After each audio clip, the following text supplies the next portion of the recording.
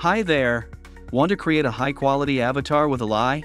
Follow these simple steps, and you'll get amazing results. First, set up your background.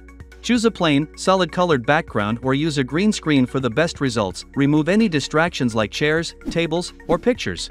A green screen allows for cleaner background removal. Clean your camera lens for a clear image.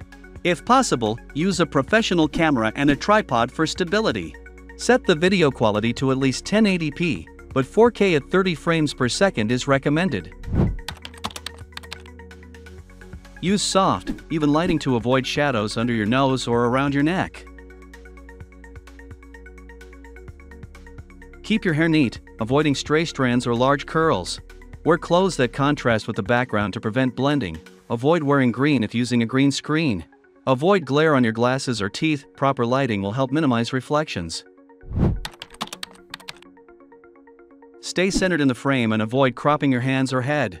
Move smoothly, no sudden head turns, walking, or excessive gestures.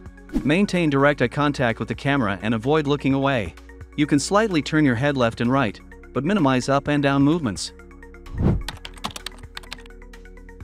Speak clearly and slowly, articulating every word. Maintain a slight, natural smile, this makes your avatar appear friendly. Don't open your mouth too wide to avoid unnatural movements in the avatar. Take pauses with your mouth closed. 2 to 3 seconds at the beginning and end of the recording. 1 to 2 seconds between long sentences. Save your video in high quality. Upload the file to Google Drive, create a selfie avatar folder, and copy the public link. Paste the link into the selfie avatar page in Elai. That's it. Follow these steps, and your avatar will look fantastic. Have fun creating.